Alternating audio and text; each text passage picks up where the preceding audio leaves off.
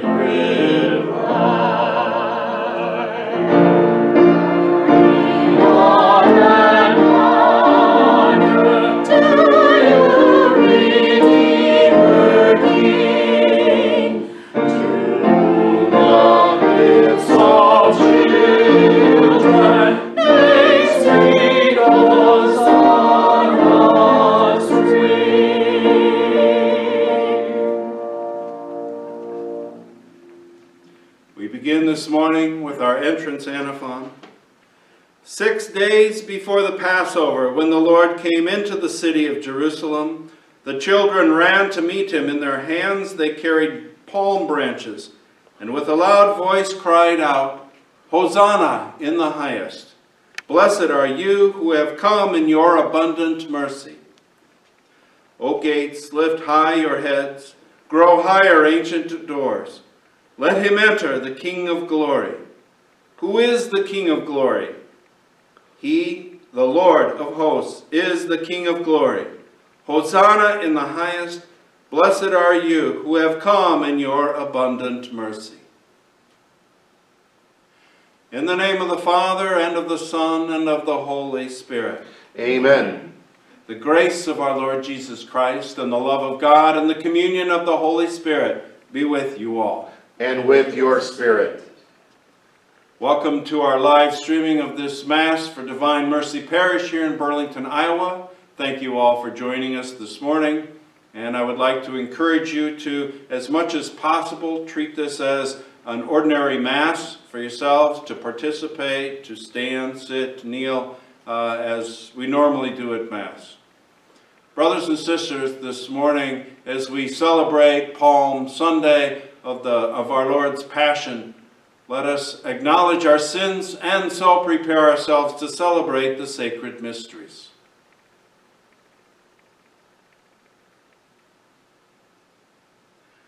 Have mercy on us, O Lord.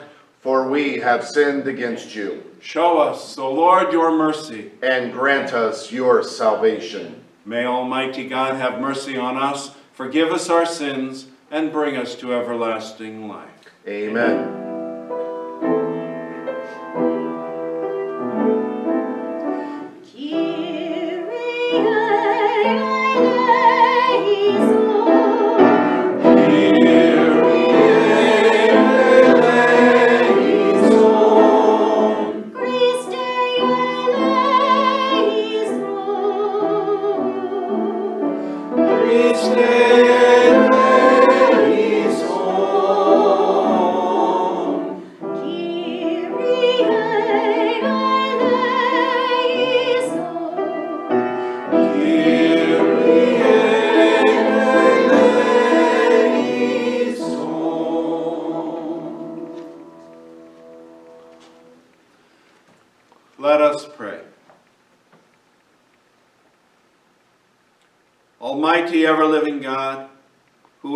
example of humility for the human race to follow, caused our Savior to take flesh and submit to the cross, graciously grant that we may heed his lesson of patient suffering and so merit a share of his resurrection, who lives and reigns with you in the unity of the Holy Spirit, one God, forever and ever.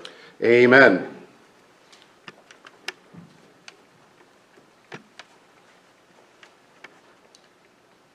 A reading from the book of the prophet Isaiah. The Lord God has given me a well-trained tongue, that I might know how to speak to the weary, a word that will rouse them. Morning after morning he opens my ear that I may hear, and I have not rebelled, have not turned back. I gave my back to those who beat me, my cheeks to those who plucked my beard. My face I did not shield from buffets and spitting. The Lord God is my help, therefore I am not disgraced. I have set my face like flint, knowing that I shall not be put to shame.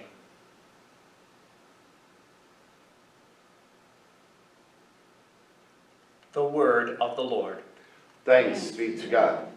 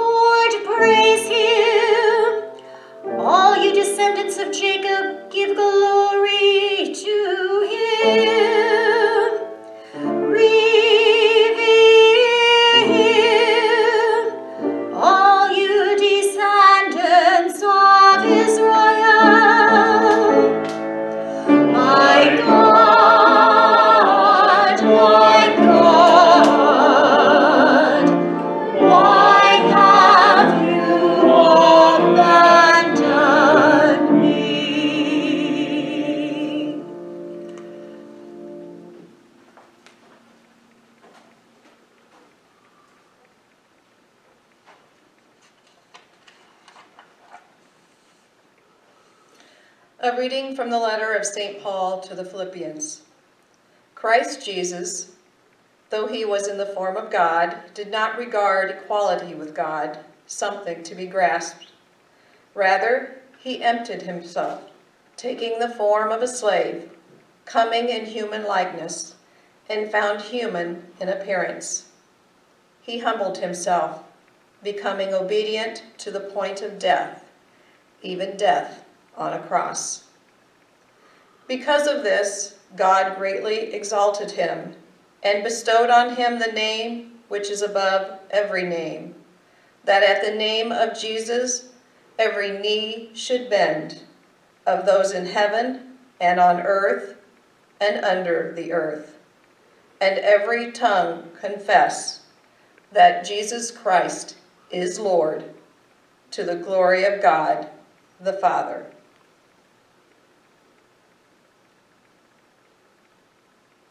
The word of the Lord. Thanks be to God.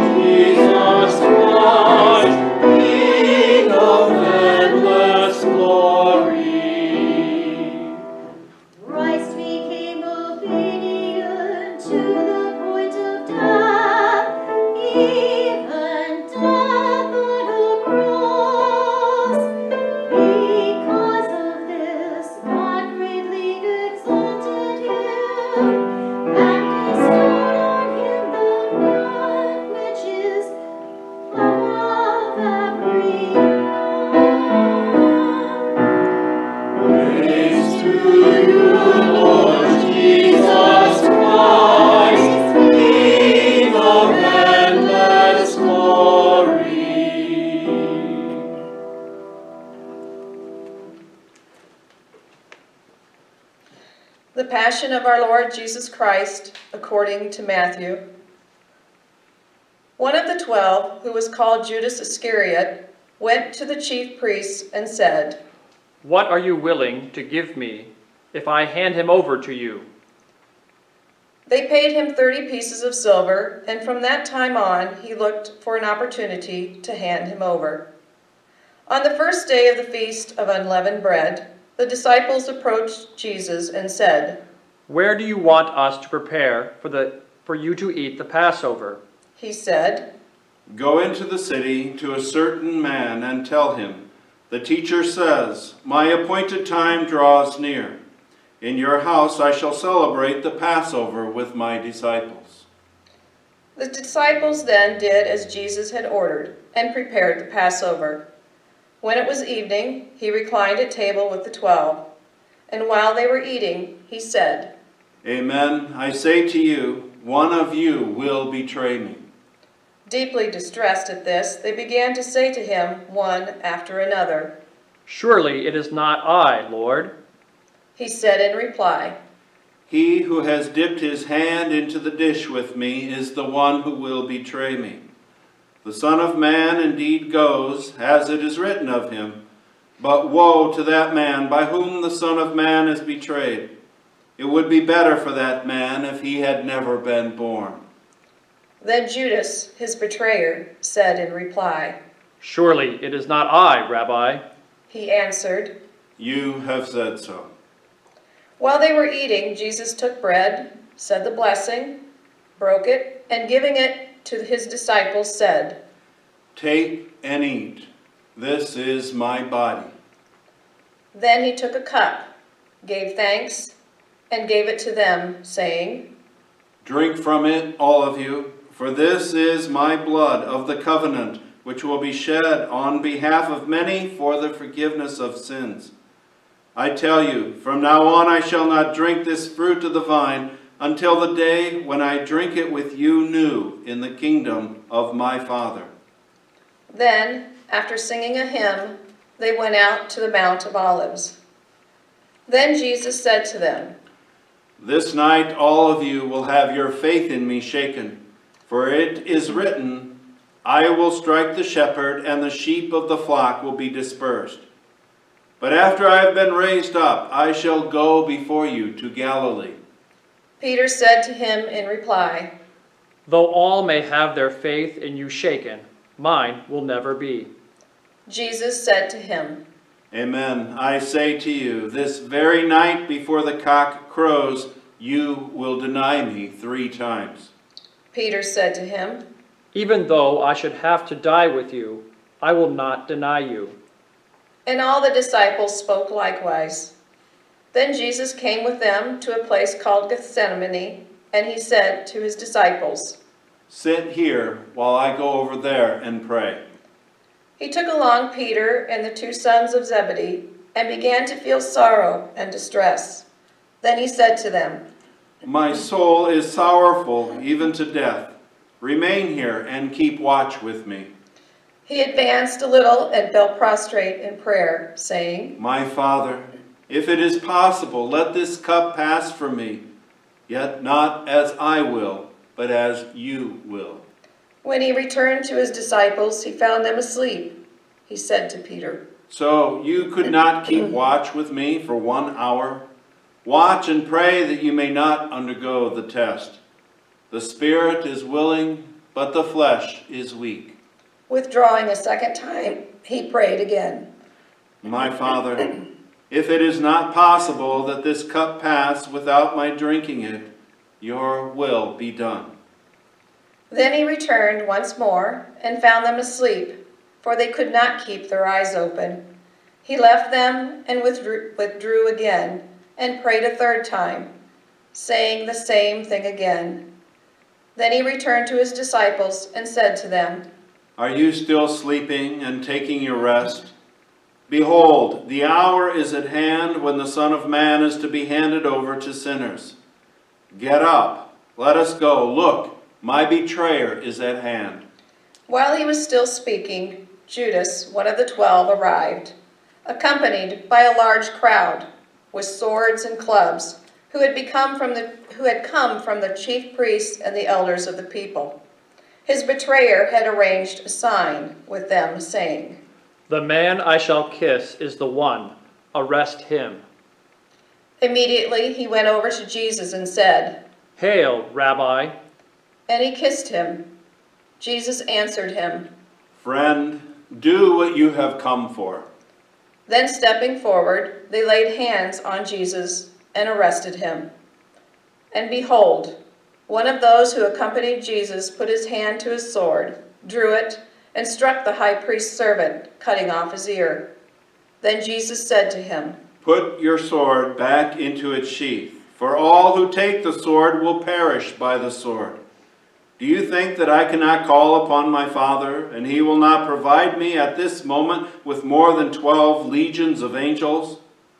But then how would scriptures be fulfilled, which say that it must come to pass in this way? At that hour, Jesus said to the crowds, Have you come out against us, out as against a robber, with swords and clubs to seize me? Day after day I sat teaching in the temple area, yet you did not arrest me. But all this has come to pass, that the writings of the prophets may be fulfilled. Then all the disciples left him and fled. Those who had arrested Jesus led him away to Caiaphas, the high priest, where the scribes and the elders were assembled.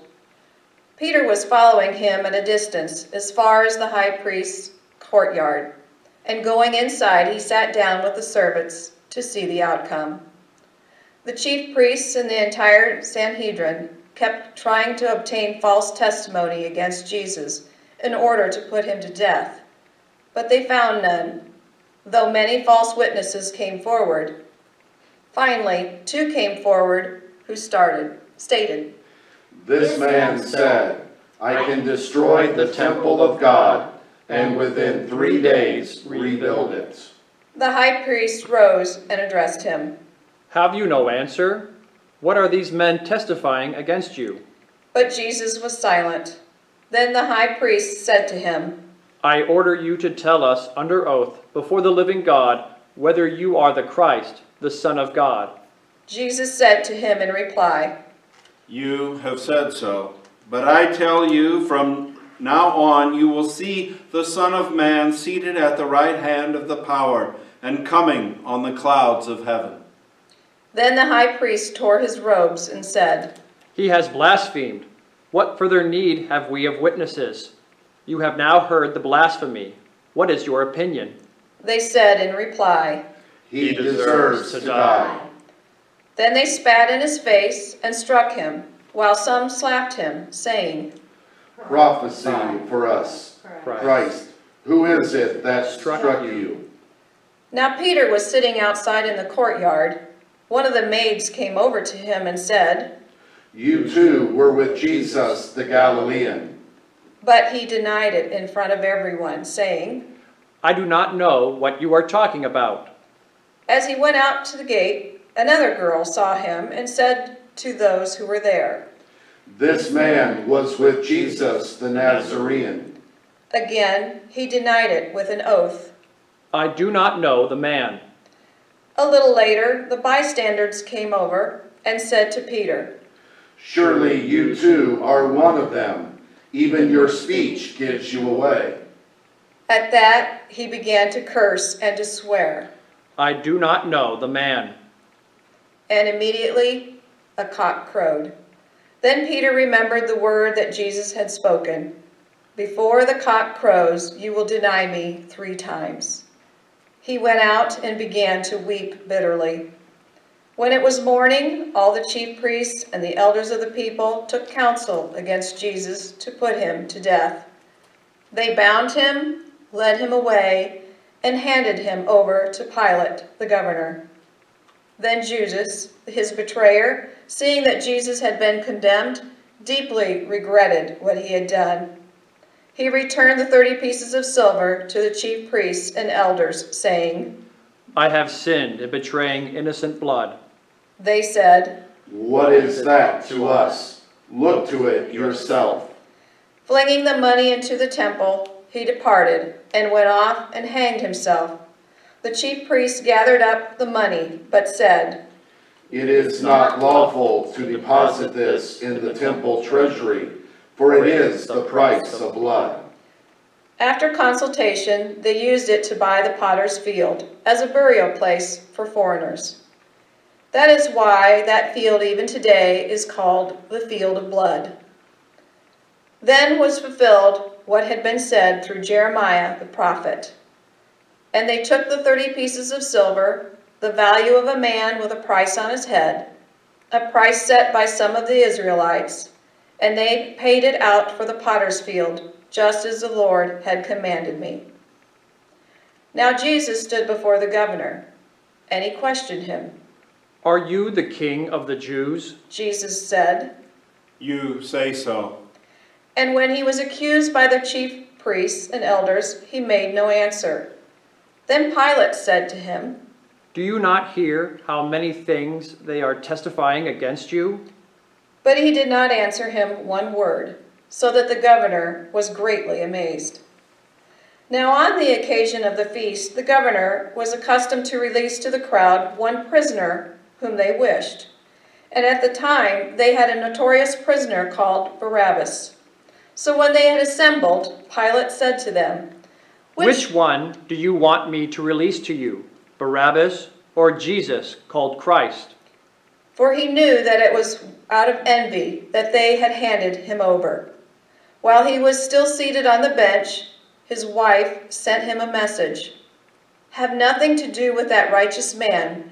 I suffered much in a dream today because of him. The chief priests and the elders persuaded the crowds to ask for Barabbas, but to destroy Jesus. The governor said to them in reply, Which of the two do you want me to release to you? They answered, Barabbas. Pilate said to them, Then what shall I do with Jesus called Christ? They all said, Let him be crucified. But he said, Why? What evil has he done? They only shouted the louder. Let him be crucified. When Pilate saw that he was not succeeding at all, but that a riot was breaking out instead, he took water and washed his hands in the sight of the crowd, saying, I am innocent of this man's blood. Look to it yourselves. And the whole people said in reply, His blood be upon us and upon our children. Then he released Barabbas to them. But after he had Jesus scourged, he handed him over to be crucified. Then the soldiers of the governor took Jesus inside the praetorium and gathered the whole cohort around him. They stripped off his clothes and threw a scarlet military cloak about him. Weaving a crown out of thorns, they placed it on his head and a reed in his right hand. And kneeling before him, they mocked him, saying, Hail, King of the Jews. They spat upon him and took the reed and kept striking him on the head. And when they had mocked him, they stripped him of the cloak, dressed him in his own clothes, and led him out, led him off to crucify him. As they were going out, they met a Cyrenian named Simon. This man they pressed into service to carry his cross. And when they came to a place called Golgotha, which means place of the skull, they gave Jesus wine and drink, wine to drink mixed with gall. But when he had tasted it, he refused to drink. After they crucified him, they divided his garments by casting lots. Then they sat down and kept watch over him there. And they placed over his head the written charge against him. This is Jesus, the King of the Jews. Two revolutionaries were crucified with him, one on his right and the other on his left. Those passing by reviled him, shaking their heads and saying, You who would destroy the temple and rebuild it in three days, save yourself. if you are the Son of God, and come down from the cross. Likewise, the chief priests with the scribes and elders mocked him and said, He saved others, he cannot save himself. So he is the King of Israel? Let him come down from the cross now, and we will believe in him. He trusted in God. Let him deliver him now, if he wants him. For he said, I am the Son of God. The revolutionaries who were crucified with him also kept abusing him in the same way. From noon onward, darkness came over the whole land until three in the afternoon. And about three o'clock, Jesus cried out in a loud voice, Eli, Eli, lema sabachthani. which means, My God, my God, why have you forsaken me? some of the bystanders who heard it said, This one is calling for Elijah. Immediately, one of them ran to get a sponge. He soaked it in wine and putting it on a reed, gave it to him to drink. But the rest said, Wait, let us see if Elijah comes to save him. But Jesus cried out again in a loud voice and gave up his spirit. I invite you all at home to kneel.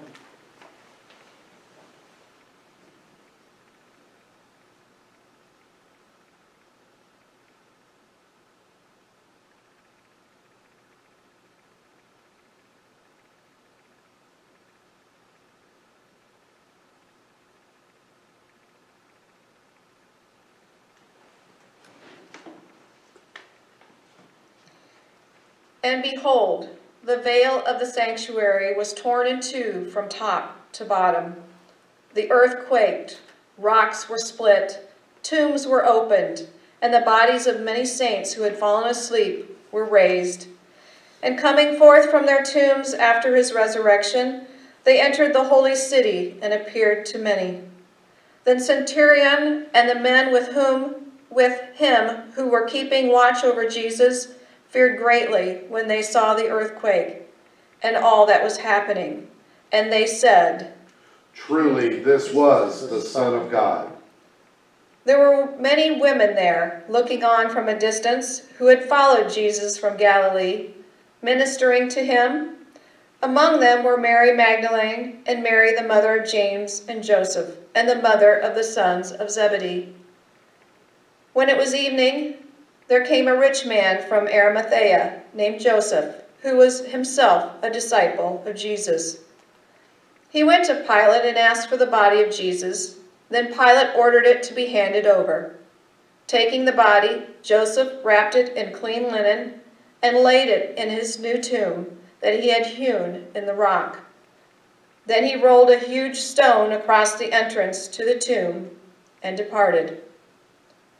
But Mary Magdalene and the other Mary remained sitting there, facing the tomb. The next day, the one following the day of preparation, the chief priests and the Pharisees gathered before Pilate and said, Sir, we remember that this impostor, while still alive, said, After three days I will be raised up. Give orders then that the grave be secured until the third day, lest his disciples come and steal him and say to the people, He has been raised from the dead. This last imposture would be worse than the first. Pilate said to them, The guard is yours. Go, secure it as best you can. So they went and secured the tomb by fixing a seal to the stone and setting the guard. The Gospel of the Lord. Praise to you, Lord Jesus Christ.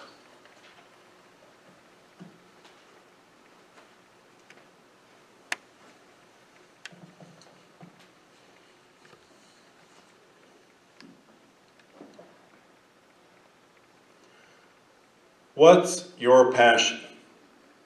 What drives you? Why do you do what you do? You know, at the lowest level, I think that we all have a passion, well, maybe an instinct to stay alive. You know, so we have to have food and shelter and clothing as That, that would be a basic passion. But beyond that, maybe for some it's uh, music or sports or a particular sport or team. Maybe it's our idea of love. Maybe it's financial success. Maybe it's peer acceptance, friends, which drives a lot of things like our fashions, our hairstyles, even our neighborhoods. Maybe it's that elusive concept called happiness. What is your passion? Our church refers to today as Palm Sunday of the Lord's Passion. And we begin a holy week of pondering what drove Jesus to do what he did. We remember a triumphant entry into Jerusalem, palm branches laid as a carpet for his path amid shouts of Hosanna. But the story quickly changes. We should say it went sour, it, it went south. You know, no offense to anyone who lives in the south. From revered to despised, from celebrity to criminal, from a giver of life, think Lazarus, to agonizing death on a cross. Faithful Christians who love Jesus Christ can't help but feel that they've been punched in the stomach when recounting the fate of this innocent man led like a lamb to slaughter. He had escaped tragedy so many times before. Why is he letting this happen? Because it was his passion. In church speak, passion is not just the motivator, but also the consequence. We know that for every passion of ours, there is a consequence, be it effort, heartbreak, hours spent in practice or at the job. But for Jesus, his passion as a motivator was undying love for his Father and for humanity. And his passion as a consequence was the horrifying suffering he endured, the agony in the garden, the betrayal and abandonment by his closest friends, the scourging at the pillar, the mocking and crowning with thorns, the way of the cross, and the excruciating crucifixion. This was his passion, and this was his gift for his Father and for us. This week, through the liturgies and our Lenten commitments to prayer, fasting, and almsgiving, we accompany Christ through his passion just as he accompanies us every day through our walks in life. Perhaps this year, more than years past, as we journey with Jesus to Golgotha, we can feel some of his pain as we too have lost much of the control, the independence, and certainty that we've become accustomed to. Perhaps this year we can unite our suffering and loss from this pandemic to the suffering of Christ on the cross. And as he emptied himself, humbled himself to become human and obedient to the point of death, perhaps this year we can catch a glimpse of what sacrifice really is. And then, perhaps, this year, we can foster a greater appreciation for what Christ's passion has given us eternal life with Him where there is no sickness or suffering. This is what we'll be celebrating next Sunday. The passion of our Lord is you. What is your passion? May it be Jesus Christ.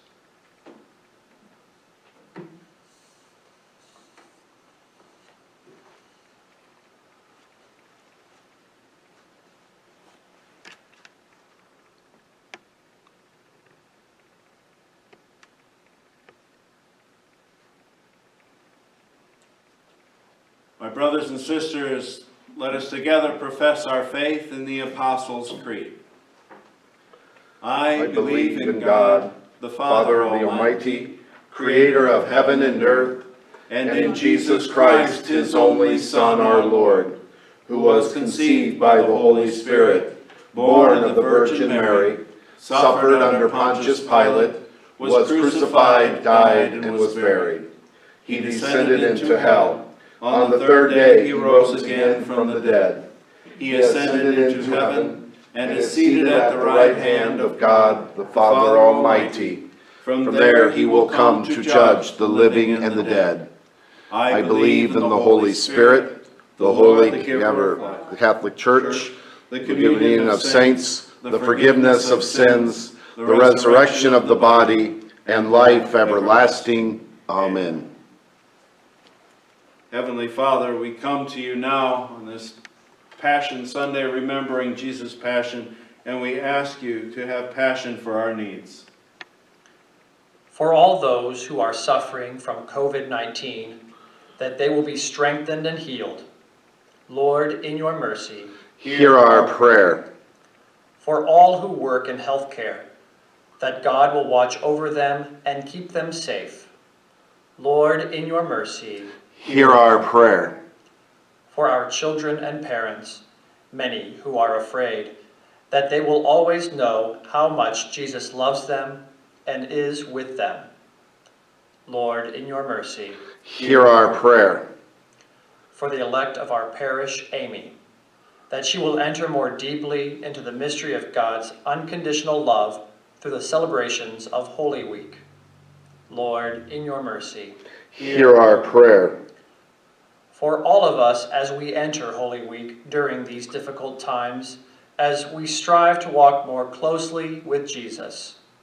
Lord, in your mercy. Hear our prayer. For our country and our leaders, that they will find ways to care for the lives of their people, especially the most vulnerable. Lord, in your mercy. Hear our prayer. For our mass intention, Walter and Wilma Sen, and for those who we have promised to pray for. Lord, in your mercy. Hear our prayer.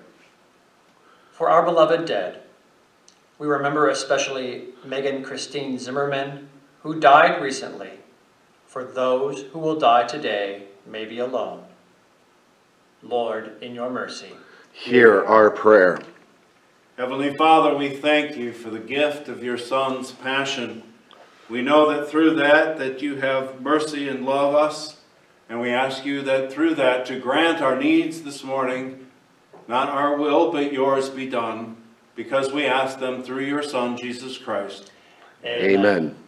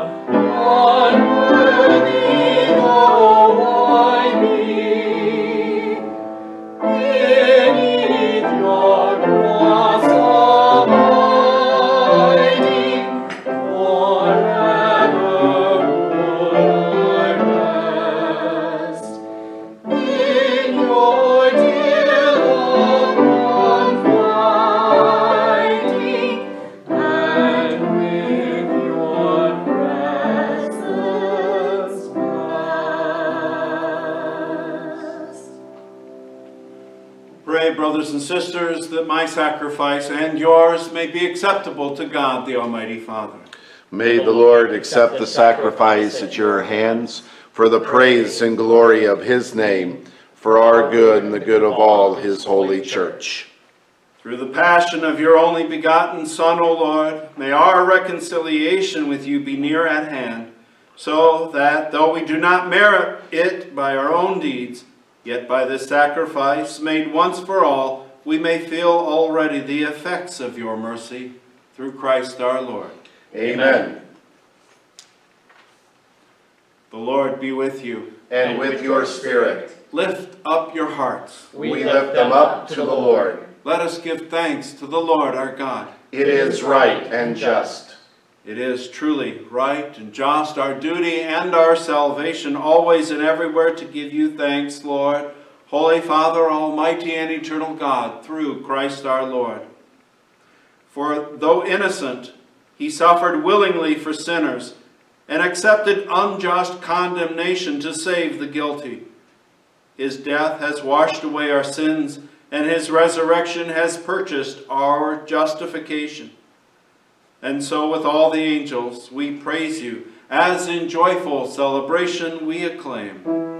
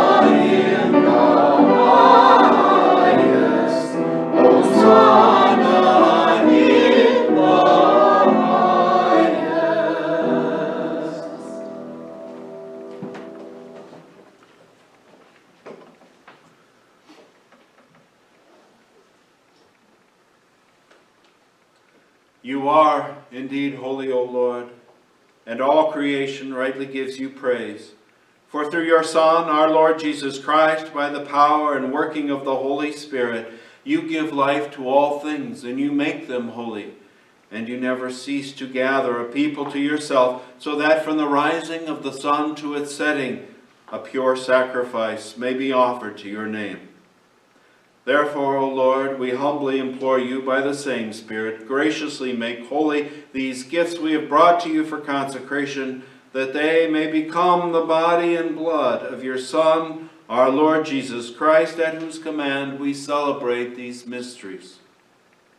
For on the night he was betrayed, he himself took bread, and giving you thanks, he said the blessing, broke the bread, and gave it to his disciples, saying, Take this, all of you, and eat of it, for this is my body, which will be given up for you.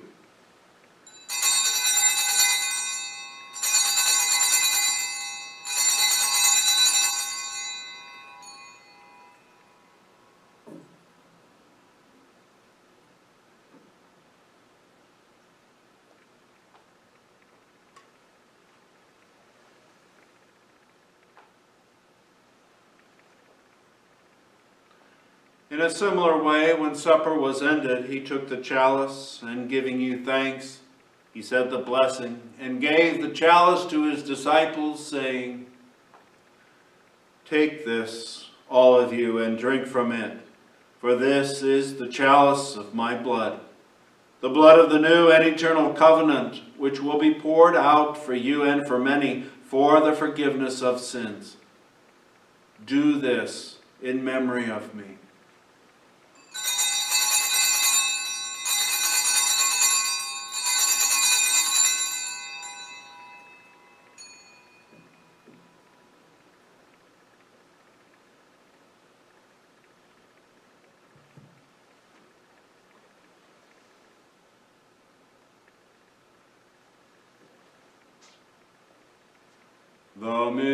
The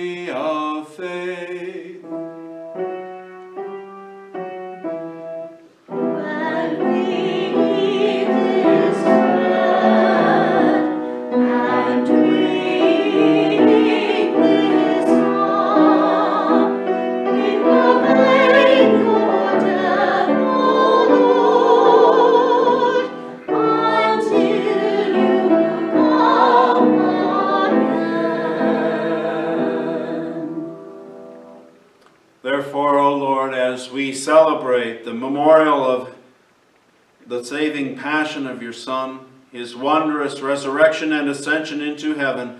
And as we look forward to his second coming, we offer you in thanksgiving this holy and living sacrifice.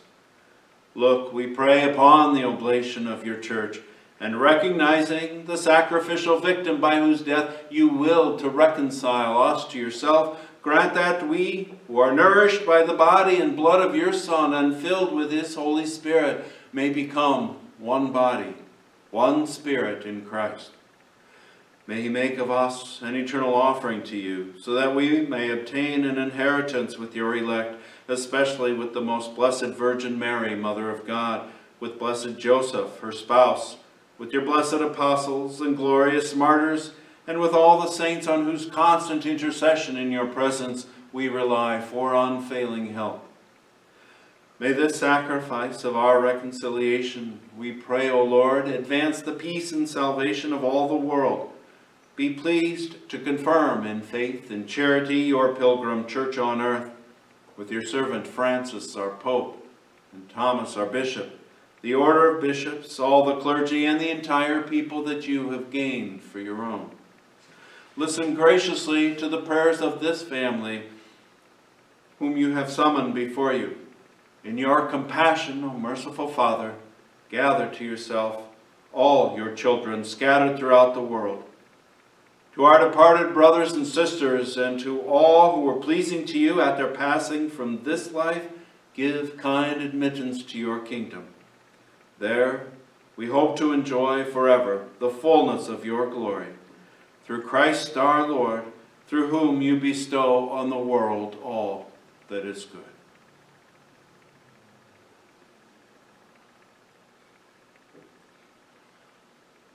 Through him and with him and in him, O God, Almighty Father, in the unity of the Holy Spirit, all glory and honor is yours forever and ever.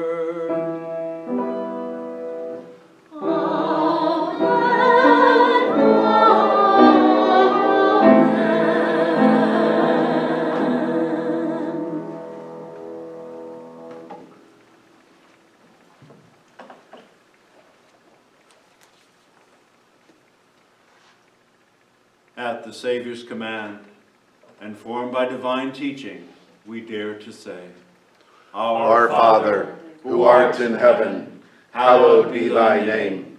Thy kingdom come, thy will be done, on earth as it is in heaven. Give us this day our daily bread, and forgive us our trespasses, as we forgive those who trespass against us. And lead us not into temptation, but deliver us from evil.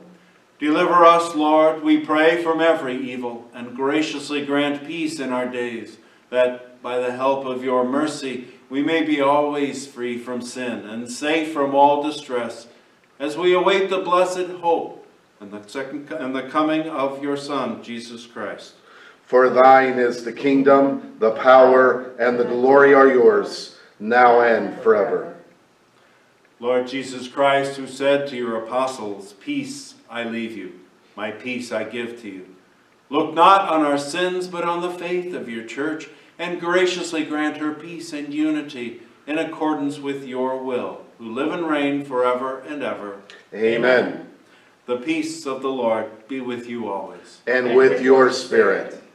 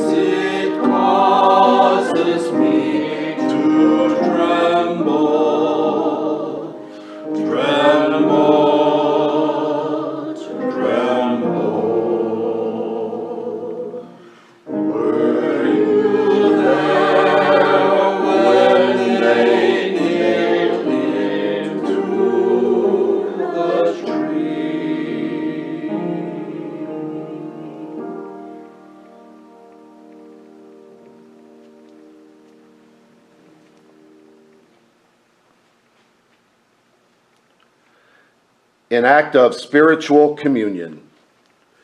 My Jesus, I believe that you are truly present in the most blessed sacrament. I love you above all things, and I desire to possess you within my soul. Since I am unable now to receive you sacramentally, come at least spiritually into my heart. I embrace you as being already there and unite myself wholly to you.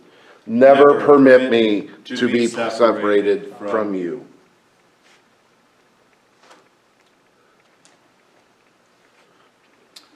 Let us pray.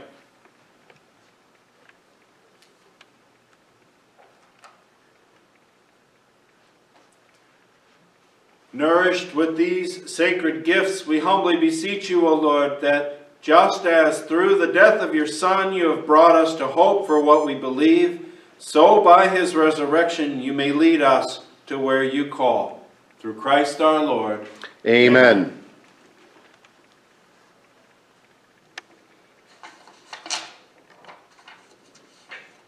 Our announcements today.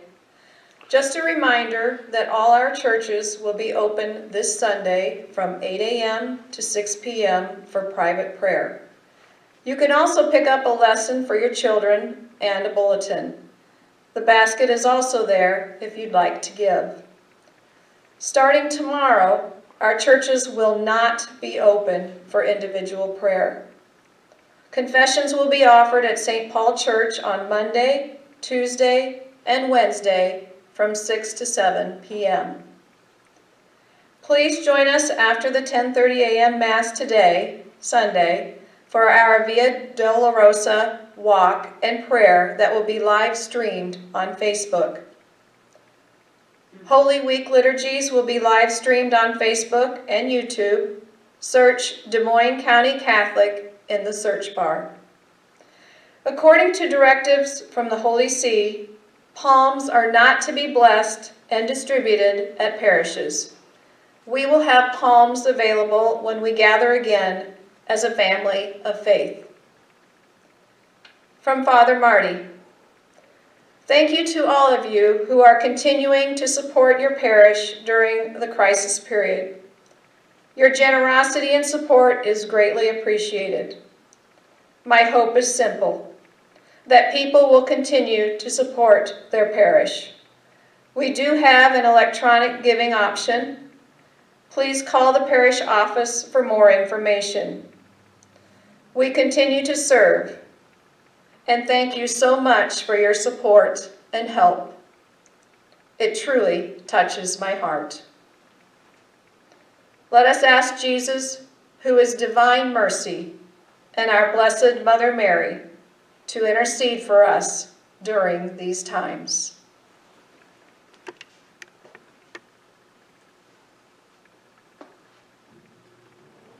The Lord be with you. And with your spirit.